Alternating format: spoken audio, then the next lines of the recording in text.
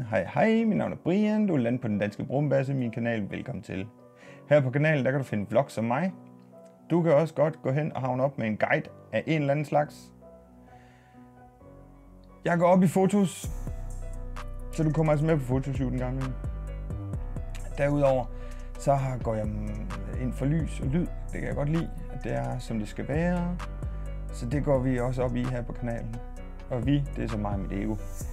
Derudover, så er der, forekommer der altså fra tid til anden sådan en, en, en sketch af en art. Yes. Jeg har også en krøllet hjerne, så der kommer nogle finurlige, mystiske påfund en gang imellem. Hvor man bare tænker, at det skulle han aldrig bevæge sig ud i. Så kan I sidde og grine lidt af det. Jeg tænker, det er okay. Jeg prøver det. I, I kan tage ved lære af det.